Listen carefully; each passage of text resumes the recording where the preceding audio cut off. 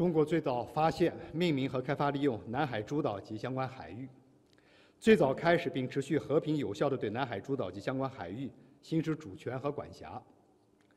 二战后，中国政府依照《开罗宣言》和《波茨坦公告》的规定，收复被日本非法侵占的南海诸岛，并恢复行使主权。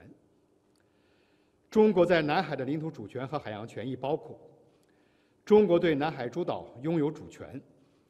中国南海诸岛拥有内水领海和毗连区。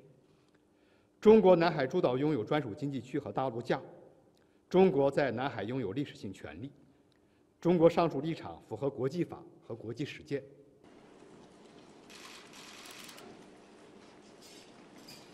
早在1948年，中国政府就正式公布了南海断续线，并为历届中国政府所坚持。在很长时间里。没有受到任何国家的质疑。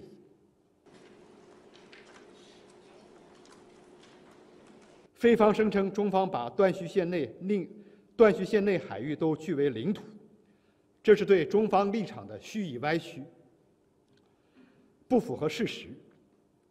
菲方应停止对国际社会的误导，停止借南海问题挑起争端，借外力破坏南海地区的和平稳定。在处理南海问题上，中方坚定维护自身的领土主权和海洋权益。同时，愿继续同有关直接当事国在尊重历史事实的基础上，通过谈判协商妥处涉海矛盾分歧。在分歧解决前，也愿同有关直接当事国共同努力，管控好海上局势，积极开展涉海合作，实现互利共赢，共同维护南海和平稳定。那请问这种？